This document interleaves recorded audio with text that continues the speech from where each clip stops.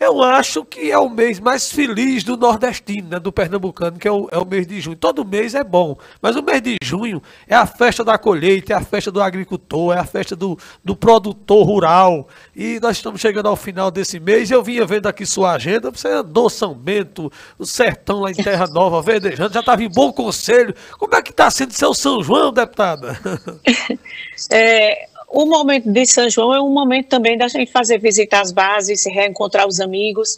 E, e a nossa cultura ela é muito forte, muito rica, né? A, a cultura do povo é, pernambucano e do povo nordestino. E principalmente em Pernambuco, né? Onde a gente tem o maior e melhor São João, como a gente tem em Caruaru. Mas aí a gente teve a oportunidade também, Motinha, de ir para Terra Nova, estar é, lá. É o terceiro ano que eu já vou para o São João de Terra Nova né, que acolhe tão bem no sertão. Tive a oportunidade de conhecer o São João de Araripina, muito bom, muito organizado. É, fui para Caruaru, fui para Bom Conselho, fui na Vila do Espírito Santo também. Quero mandar, inclusive, um grande abraço para todo o povo né, querido da Vila do Espírito Santo. E a manifestação, né, são manifestações culturais né, do nosso povo.